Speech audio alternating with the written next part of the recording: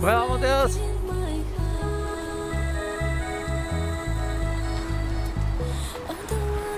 Er du på sykkeltur? Ja.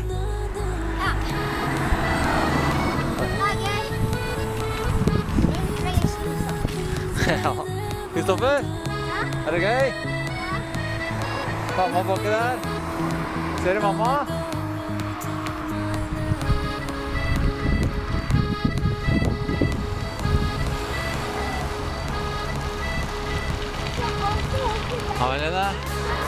Liker du å på tur?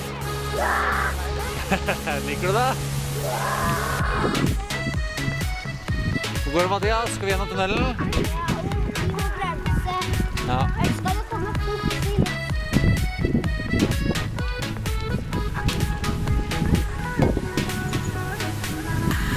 Det er mye nå. Ble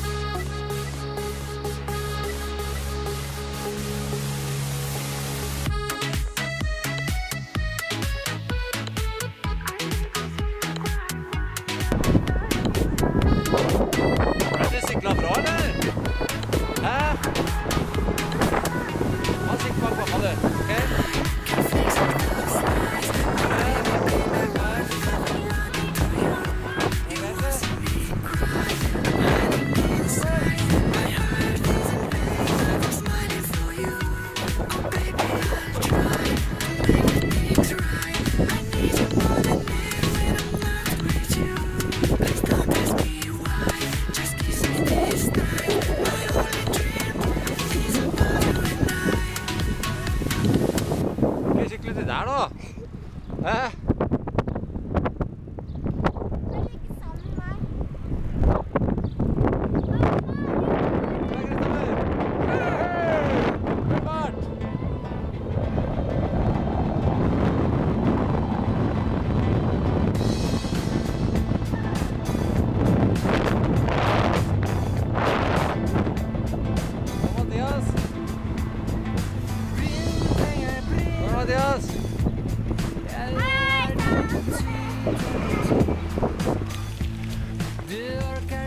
Klarer du her, Mathias? Her er det bratt.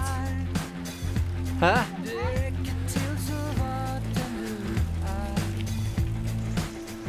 Det er veldig bra. Ikke så langt igjen for bakken, så blir det litt brattere.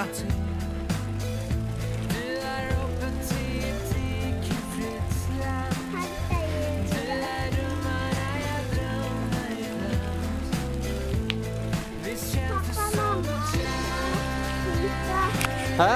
Sier du? Gå der nede. Kom, Mathias er snart oppe. Kom igjen.